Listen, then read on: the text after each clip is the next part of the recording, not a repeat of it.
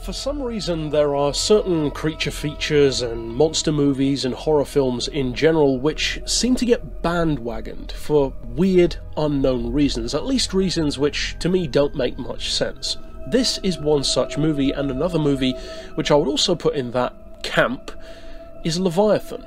These are movies which, for no apparent reason, get very bad scores from critics and negative things are often said about them, and it also becomes popular just to dislike the movie for the sake of it. Now, there are plenty of movies which I actually like that a lot of people find it fun to dislike just because people do. As an example, I really love elements of the League of Extraordinary Gentlemen.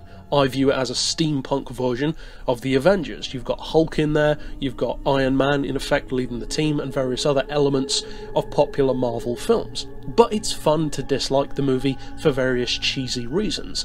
Likewise with Leviathan. Leviathan is a genuine rival to movies like Alien and The Thing but for whatever reason it has a ridiculously low score on numerous sites online, and this is another such occasion. Now, Relic is a movie which I saw years ago, and I didn't pay it that much attention. I might have seen bits of it here or there, but never watched the full thing. I was probably a kid and didn't appreciate it.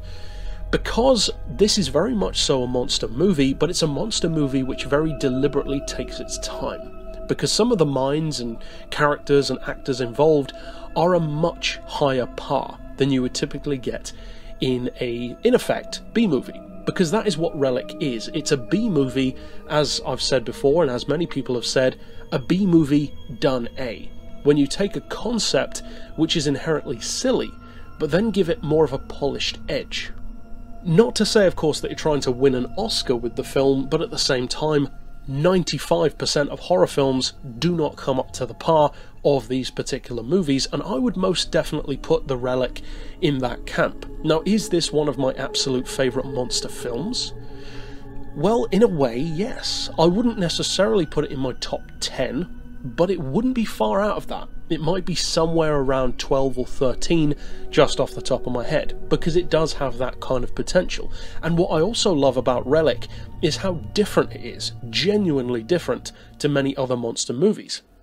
Because without spoiling anything too specific, most monster movies or alien movies follow very similar tropes. It either comes from under the ground or out in space, crashes into Earth or burrows out from the Earth and attacks people because it can. It's usually in some remote location that people inexplicably don't get cell service at, and all that kind of usual nonsense. Now, I'm not saying that this movie doesn't do those kind of tropes, but it presents it in a way which does feel genuinely unique to itself. The location, for instance, the majority of the movie takes place in a museum.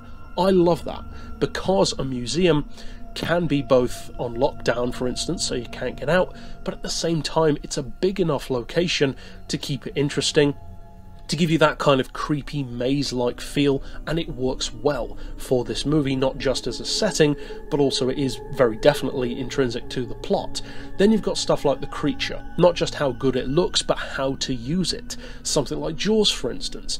It's one of the highest rated movies I've ever reviewed, but if you just take every scene where you actually see the shark, it doesn't look that great by today's standards. The reason why it pulls it off so well is because of how it's used. Likewise, here, the creature in this movie called the Kothoga, which is incidentally one of the most underappreciated monsters in any movie, is brilliantly used. You get to see it enough, but you also don't see it enough. And not just at the start of the film compared to the end, which is the typical method. You know, you hear it, you see the remnants of its attack, and then later on it's shown and you get a full reveal at the end of the movie. That's not done that way here. It's done out of sequence in some places, seeing a bit here and a bit more there and then a bit less later on, and I like that. It keeps it fresh, it keeps it different. Plus, the creature itself was designed by Stan Winston, developed by his creative team, and so it's going to be a pretty good creature.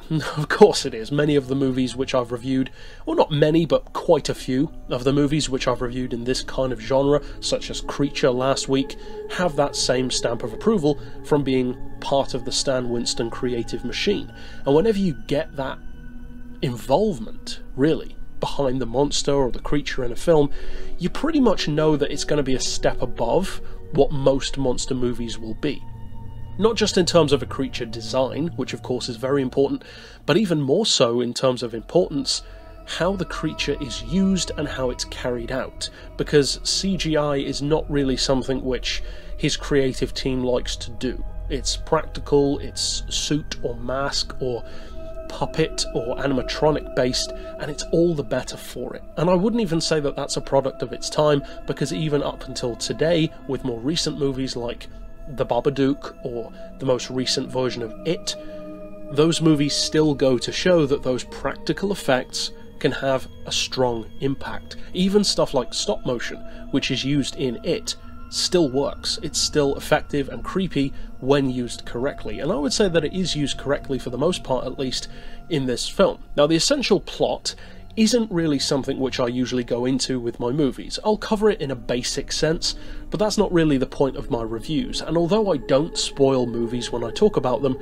my reviews are kind of based around people who have seen the film and like to reminisce or like to have their memory jogged. So, from that point of view, still without spoiling anything, the essential concept is there are some people who work at a museum, and of course, they're always on the lookout for new, strange, weird, and wonderful artifacts to draw in the crowds, and they're at a pivotal point for the museum's development. They want to get more backing, more big names behind them to get things expanded, to have better funding, all that kind of usual stuff. But at the same time, a certain relic hence the name of the film, arrives. It's a relic which is shrouded in mystery, and then, as it develops, it's not necessarily a relic that you'd want to be around your museum.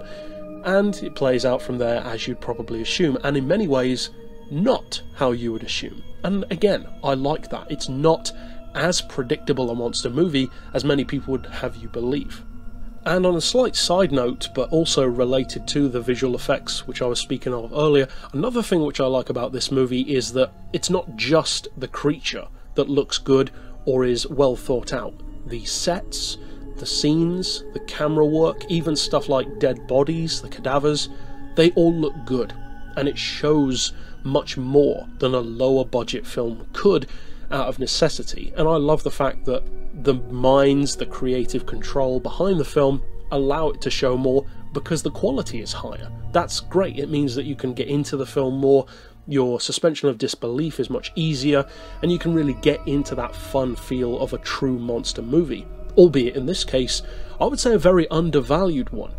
Another thing that I will say though about the essential plot and in particular the pacing around the plot, touching again on what I said earlier about not necessarily showing as much monster action as many films would, is that this is the kind of horror movie and monster movie specifically, and we'll touch on this again later in the scores, that you really need to watch at least once just on your own and it's not the most ideal of monster movies for a group watching. So, in that way, it is again very different to many B movies or creature features because quite a few of them are perfect for group watching because you can all sit there, laugh at how dumb it is, and have a lot of fun. That's not really the case here. It's a lot of dialogue, a lot of characters talking to each other, a lot of monster action, don't get me wrong, but a lot more important stuff is said in dialogue than you would typically expect in a monster film. Because let's face it, even those of us who are hardcore monster fans who will forgive anything, you've got to admit there are some monster movies and creature features which truly are trash. And the only reason why you watch it is for the creature. Everything else is completely useless. This isn't one of those films. The, the casting is good, the acting is good, the characters are interesting, and it's developed well. So, for one person watching the film, it can keep your attention well enough. For a group, though, not so much, because there isn't quite enough silly, over the top action all the time, because there is that, but not all the time, that really is necessitated for a group watching where you pretty much guarantee people are going to be talking to each other and talking over the film and missing stuff. This isn't really that kind of movie. However, that of course brings us to the scores. So, what am I going to score Relic? Well, first of all, as always, we have the story and the plot, and more often than not for these creature feature and monster movies, if it's a good one that I've reviewed, which they generally are, I don't review bad movies usually, I tend to give them a 6, because they are above par, but at the same time, nothing Oscar worthy. And that's going to be the case here as well. I am going to give it a 6 out of 10 because it definitely is above par, especially if you compare it to many of its siblings, both of the time and also now in the monster genre. There is so much trash that The Relic is easily, easily better than 95% of horror movies out there, but even more so, monster movies or creature features or B movies. So yeah, it's it's an easy 6. I feel like potentially giving it a 7 but at the same time, I think that might be a little bit too high. So I feel comfortable with the 6 overall. As far as the characters, the casting, the motivations, I'm going to give it a 7 for that. They're not the most likable or the most interesting characters around. You don't get a huge amount of backstory, but at the same time, the reason why I am giving it a very respectable 7 is because they're well cast, there are faces which you will doubtless recognise, not just from the era but even before or after, they are interesting characters to the point where you do care what happens to them without needing to know everything about them. And although there are some dumb interactions or stupid mistakes and predictable things done by certain characters, such as security guards always being dummies in movies for no apparent reason, that kind of tropey stuff is still in there, but at the same time, it's no way near as bad as it often is. So, for that, I have to respect the film and also praise it for that. As far as the visuals, the effects, of course, the creature itself, which is always going to be the crux of the score for a movie like this, well, I'm going to reflect that with a very high score. I'm going to give it a 9 because I really like the visuals of The Relic. It has that slightly dated style from when the movie came out, but in a good way. It almost has a not crime thriller, but kind of a, a, political intrigue kind of look to it. The way people are dressed, the locations, the city atmosphere, the music, even. It has that kind of law and order feel to it from the 90s or early 2000s, and I think that suits this. It sets it again apart from the rest of the crowd. It's much more interesting than in the middle of a desert or eh, stuck in a snowy location or out on a boat at sea. Not that there's anything wrong with those but there are so many movies which do that that it makes this one stand out even more. As far as the creature, it's great. It's an interesting, wacky, weird, intimidating, very aggressive design. It looks like other things, but at the same time, if you try to actually pinpoint something else which looks like it, there isn't really anything. So that's a great testament to the creature.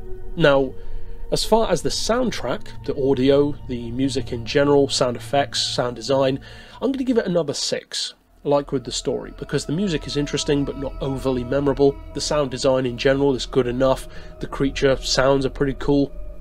But again, nothing Oscar worthy and not necessarily worthy of a 7. So, again, I feel comfortable with a 6 for this one. Definitely above par for a horror film, but nothing mind blowing.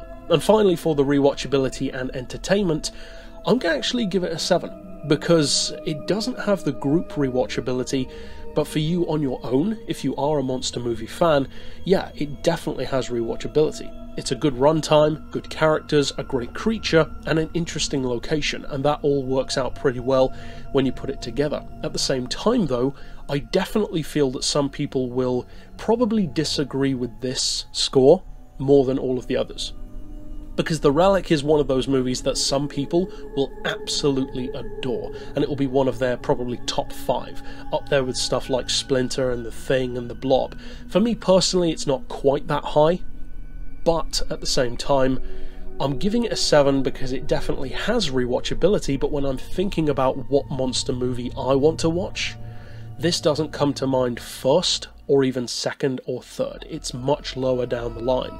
So, of course, it's a very subjective score anyway, but that's just how it falls for me. I like it for what it is, but the rewatchability isn't quite as high as some others, and it really is as simple as that. It's not a bad score as far as the quality of the movie, it's just the pacing and the style lends itself towards watching it more occasionally rather than frequently, and I think it's good for that.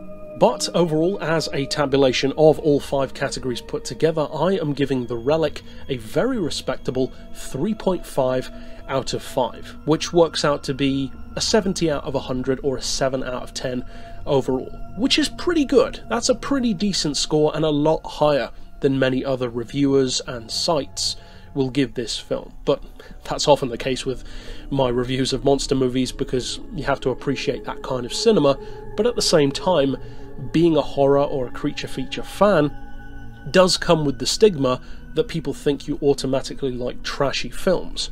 That's not the case for me, and I'm sure that's not the case for you guys in the most part anyway. Some people do truthfully like everything in the genre.